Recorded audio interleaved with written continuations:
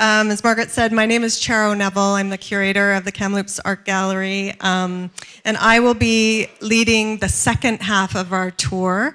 Um, but it's a great honor for me to be able to introduce Maya Wilson Sanchez, who Margaret uh, mentioned has come all the way from New York. Uh, she made it here in between snowstorms, thankfully.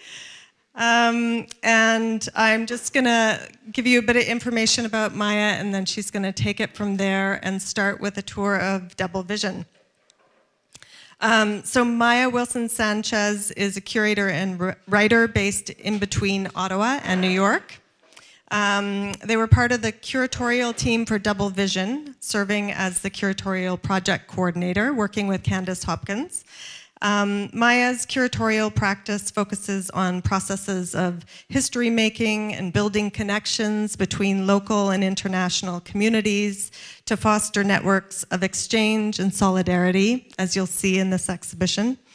Uh, they were an editorial resident at Canadian Art, a curatorial resident at the Art Museum at the University of Toronto, and associate editor at C Magazine. Um, Maya received the 2020 Middlebrook Prize for Young Canadian Curators. Amazing. and, and was, uh, was also a 2021 participant at the Tate Intensive in London, UK. Um, it's a very long and impressive bio. Maya worked in numerous art galleries, uh, has worked in numerous art galleries and museums, including the AGO, Gallery TPW, On-Site Gallery MKG 127, and the Textile Museum of Canada, um, and has curated exhibitions at Xpace Cultural Centre, the Royal Ontario Museum, and the Art Gallery of Guelph. Um, so she's come all the way across Canada to be with us. Um, and most recently, Maya served as one of the curators for Toronto's Year of Public Art curating the 2021-2022 exhibition series I Am Land um, and curated replicas and reunions, ancient and contemporary ceramics from Ecuador, where Maya is from. Um, just this last spring at the Gardner Museum. Um, and Maya's upcoming show and research is based on an exhibition, History Making Machines, Anti-Colonial mu Museums by Artists, and that opens next year in New York City. So we'll all have to travel there. Um, so I'm gonna hand the mic over to Maya now. Thank you Thank you so much for that introduction, and thank you all for coming um, and spending some time tonight.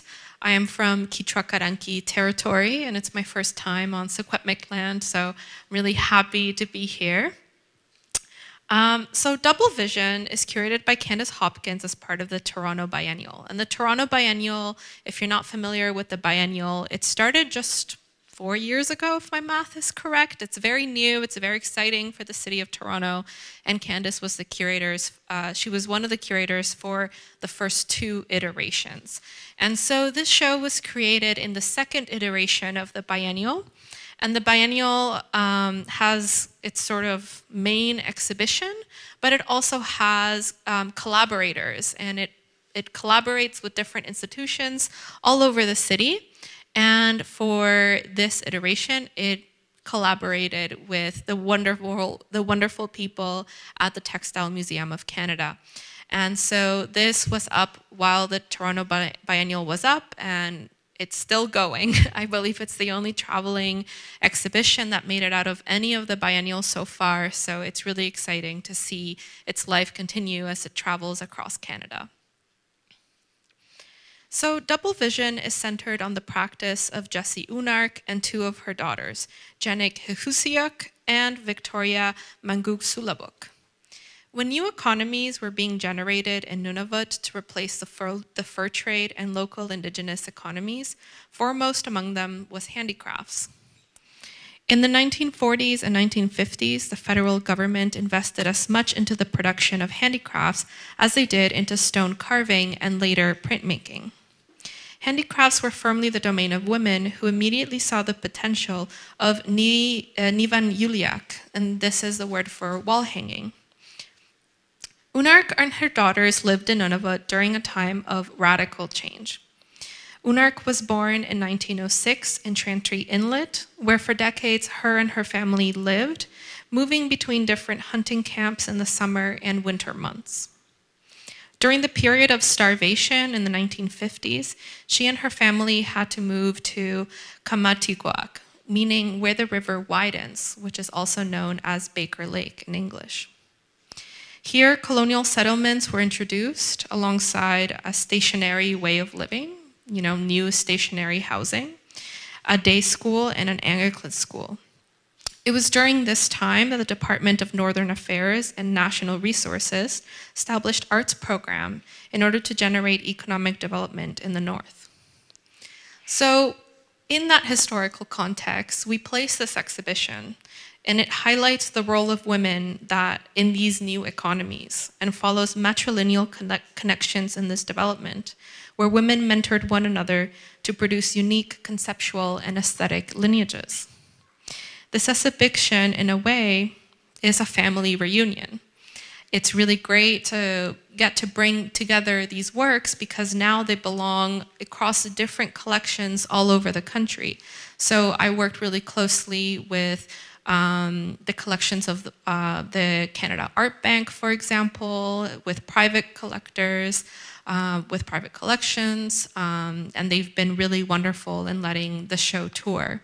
So it's wonderful to see all this work come together, the work of three women, actually I should say four, because we also have a video that you'll get to see in the other side of the gallery of Gail Kabluna, who is actually Victoria's granddaughter. So here we have three generations of Inuk artists. So Going back to this historical context, I think one of the things that makes this exhibition quite interesting is that it brings together a domestic context for creative exchange with newly introduced ideas of an artist workshop and art classes that came along with the establishments of art cooperatives. So here, especially in the very early work that we see with Oonark, for example, you see this coming together. You can almost picture her in her home making clothing for her family while at this, maybe at the same table she's making these wall hangings. Um, with that, I think we'll move into what I like to call the igloo room or the yellow room. So if you can take a minute and I'll meet you in this room here. So in 1966, the Department of Indian and Northern Affairs gave Oonark a studio and a modest salary.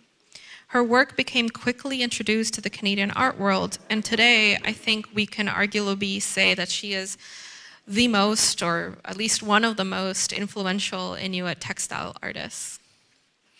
All of her surviving children uh, of which they were eight, became artists, and together they formed the cornerstone, the cornerstone of artistic production in the community of Qamani'tuaq. Oonark began drawing through the encouragement of a Canadian biologist in the summer of 1959, who provided her with paper and colored pencils with the promise to pay her for each drawing that she produced. Earlier in the year, Unar casually declared that she could draw better than students studying in art school.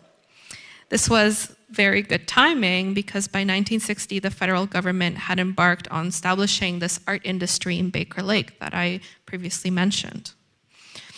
For those who are in the back, you're very lucky to take a look at one of the first drawings that Oonark made. So this drawing, alongside a print in the next room that I will highlight, cemented her assured sophisticated line and form and depictions of women. These two works are really important because out of four works, these two were included in the 1960 Cape Dorset collection and catalog. The Cape Dorset shop was part of efforts to increase economic activity alongside the new West Baffin Eskimo Cooperative.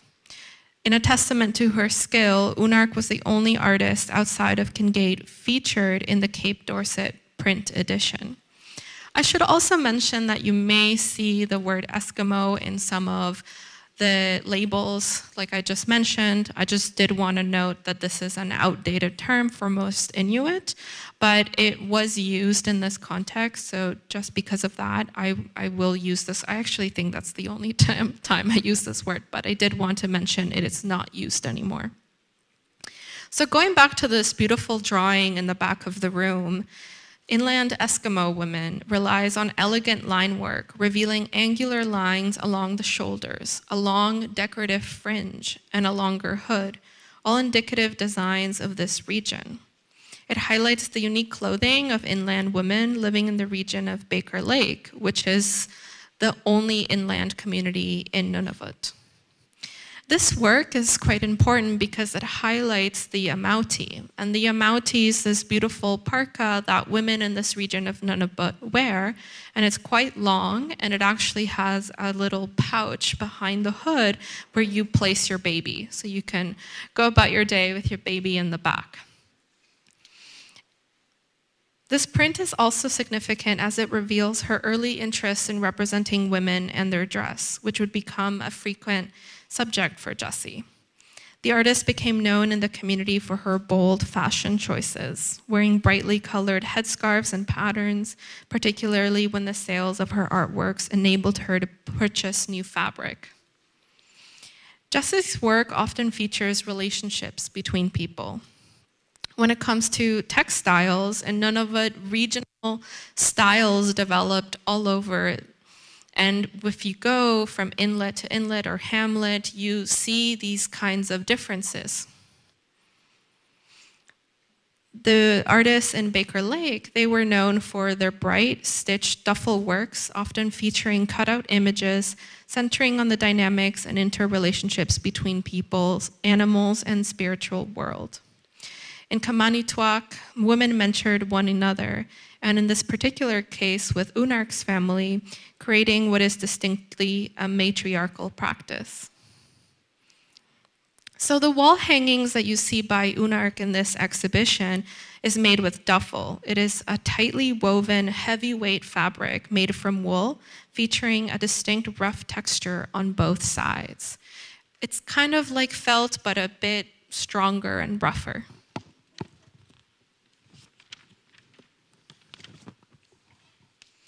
In this work here, which is called Double Igloo, and I think an inspiration for the title of the exhibition, we see a kind of mirroring, a symmetry that you see throughout Unar's work. This kind of mirroring becomes a methodology in her work. And the artist Jack Butler said that their approach to drawing was through pattern and shape rather than lines. For me, the kind of mirroring or doubling that we see in her work can also, I think, draw connections with her practice as someone who made clothing. When you make a piece of clothing, you need a front and a back, and you need two sides, and they mirror each other. So I think that you know, if we can go back to the exercise of picturing Oonark in her workshop, we can see perhaps her making a coat with two sides and then making an igloo with two sides at the same time. I wanted to quickly move to this work here. At some point in her life, shortly after moving to Baker Lake, Jessie converted to Christianity. And I want to point out a quote by Jessie here at the top. She says, I remember being told off because I believed in little pieces of paper that tear easily. They used to tell us to be quiet and not read the stories and not have anything to do with them. Jessie worked as a janitor in the Anglican church at Baker Lake. And I need to mention that the Christian religion divided the community of Baker Lake, with some uh, becoming Christian and some being and some folks being very much against that. One of the things that's also interesting about this quote, if we think of the materiality of the work that makes up uh, Oonark's practice, as we'll see a little bit in, in this room and in the next room, she is a mixed media artist. She's working in textiles, she's working in drawings and in printmakings. And when I was working on the show, I remember coming across this story of how one of the critiques for Christianity up north was that the holy word was written on paper.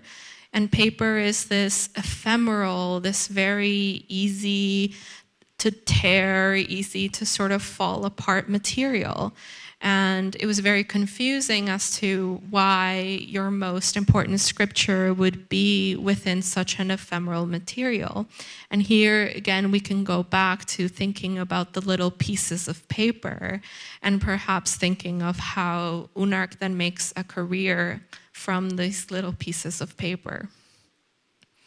I did want to point out before we move to the next room that here we see another example of the Amauti coats that we saw in her earlier drawing in the back. We see a scene of the church surrounded by people, by women wearing traditional clothing from Baker Lake. In this room as well, you also see some amazing wall hangings by Victoria. I am a big fan of Victoria's work, and I really appreciate the humor that she, she brings into her work. So here, um, this work is called The Women with Too Many Children, perhaps a comment on her mom and, and all her brothers and sisters.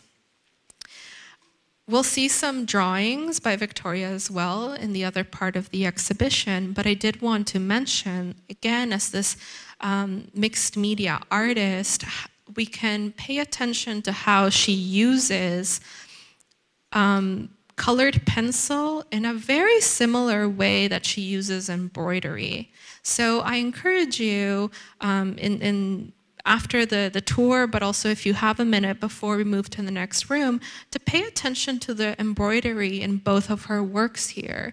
You see the very fine embroidery that she uses to give clothing texture and to create movement within the works.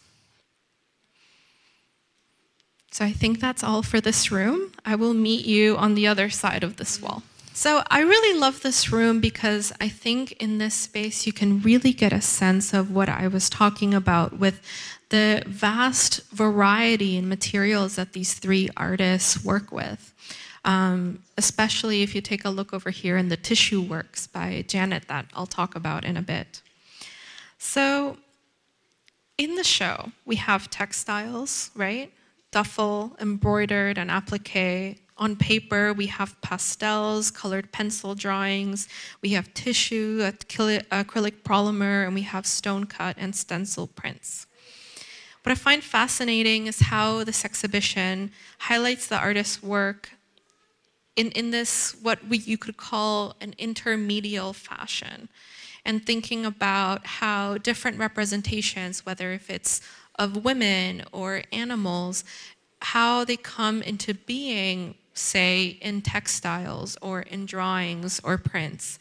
Especially if you look at one artist and you kind of see how she approaches the same subject matter but in different materials. It's something fascinating to do when you have more, more time in the gallery space. I did want to point out, so the two prints that I mentioned by, by Oonark, the very two early prints that made it into the Cape Dorset exhibition, the other one is here on the right um, called Tattooed Faces. These are two wonderful wall hangings by Jesse Oonark. Here again, you can see the kind of doubling, or in this case, quadrupling of subject matter. One of the things that I wanted to point out in this wall hanging, although you can also find this in the church wall hanging in the previous room, are these shapes here. So these triangle like shapes is actually referring to the ulu. And the ulu is a knife that is common in this part of the world. It's usually used by women. And it's an all purpose knife traditionally used by Inuit women, used for skinning and cleaning animals, cutting a child's hair, cutting food, trimming blocks of snow, and in this case, to make clothing, to make art, to make these wonderful wall hangings. So you see these in the church hanging in the previous room as they sort of envelop and live within these representation of women. But I wanted to point them out in this context. And as you can see, they're literally attached to people's heads. And I really appreciated this gesture by Oonark because you can see her tool of art making as a literal part of herself, as an extension of the human body. Now, I'm going to ask you all that you sort of remain in this space because it gets pretty tight here, but I am going to be referring to some of the works on this side. So, the works in this pink wall, especially the works by Janet, is what I'm going to be talking about next. So, this room is an exploration of pattern on paper by Janet Kigusiuq. Janet's practice is centered on the relationship between representation and abstraction. Janet began making collages later in her life, which was easier than making textiles as she, was, as she developed arthritis. And this became a way to further represent the land and life around her with a focus on interlacing of shape and color. What I really love about the show, and I think here we're drawing a little bit from Janet. Oh, and I should also mention that all the colors that you see in the exhibition design, the reds and the yellows and the pinks, we worked very closely with our exhibition designer to actually put, pull these colors from the artworks themselves. And I think looking at the design of the show, looking at the works in the show, looking at the way that Janet is representing land, you really get to understand how the Arctic is not white. And I think that's a very popular image of the Arctic, of the North that lives in the popular imaginary of people.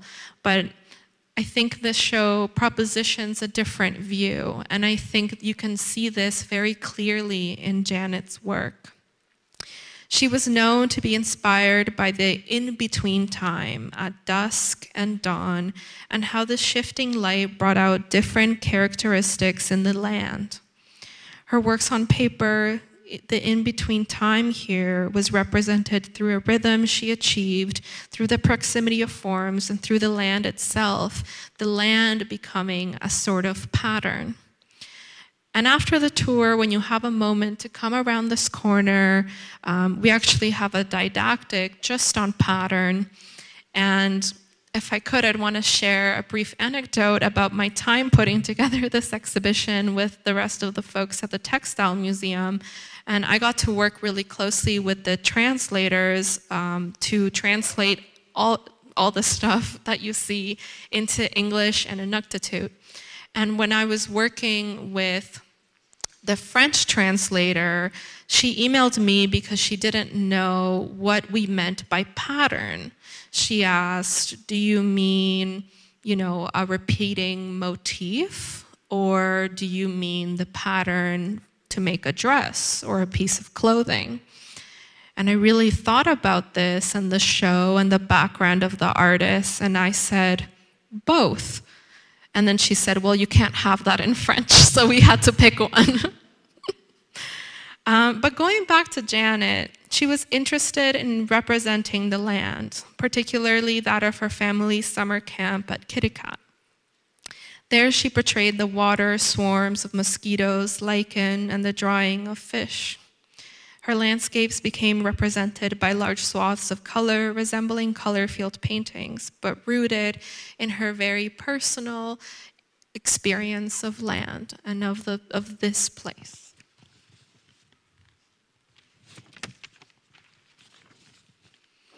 She used the tissue to represent particular places, like the bright blue lake of Aupauktuluk these collages, like the detailed drawings she became known for, show the Arctic landscape as one with rich color and texture, revealed through close looking and her intimate attention to the land's details. In her works on paper, the in between time was represented through a rhythm achieved via the proximity of forms and the land as a pattern. I want to speak about Victoria's work, and you got to see some of her wall hangings in the igloo room. After I'm done the tour, you can see some of her really incredible drawings around the corner, but it's quite tight. So if you're patient with me, I'll just speak a little bit about them. So in both Jessie's and Victoria's work, you see an interest in the animal human world and the spirit world. As you know, Jessie converted to Christianity but kept depicting Inuit stories and events, which we might call a kind of cultural or religious syncretism, which is also very common for me back home. Both Jessie and Victoria were warned against representing spirits in the idea that their work could summon the spirits, and invite them forth. But all of these artists did it anyway, which is kind of fearless. The reason Victoria Mamnguqsualuk's work is so rich in story is that she was one of her, the only siblings who would stay up deep into the night listening to the tales of her grandmother Natak, who lived with the family. Over the course of her career, Victoria often returned to the same character, Kiviuk, Kiviuk was a traveler, an explorer, a migrant. He travels through different lands as well as through different times and different cultures. He is one of the oldest feature, uh, figures in Inuit oral history, and his stories likely go back thousands of years. He's a little bit of a trickster, a little bit of a joker, and he is known to resurface at significant moments. For example, he's known to have intercepted a Soviet satellite flying over the Arctic during the Cold War. And remember that during this time, the Canadian Arctic was the front line, and Inuit were, hand, were first-hand witnesses. After many lives in the world of the white man, Kiviuk finally returned home to forewarn what he saw while he was away. In these stories, real and imaginary overlap in ways that can confuse interpretation by outsiders. For Inuit, people and spirits commonly share the same environment. Mamnguqsualuk's prints, drawings, and textiles are no exception. We see humans convening with snake spirits. You'll see in one work, there a person emerges from the body of a yellow serpent. The fish are monstrously large, and people are often in a state of transformation, sometimes mutating into seals or birds, while animals in turn become human.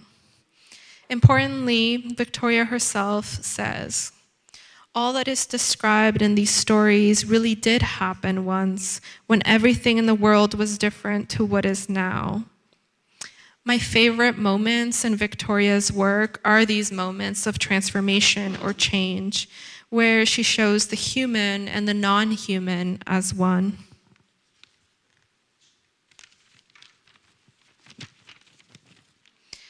Victoria was a visual chronicler of these stories, and we can argue that her sister and her mother were also chroniclers on, her, on their own right with their own distinct interests.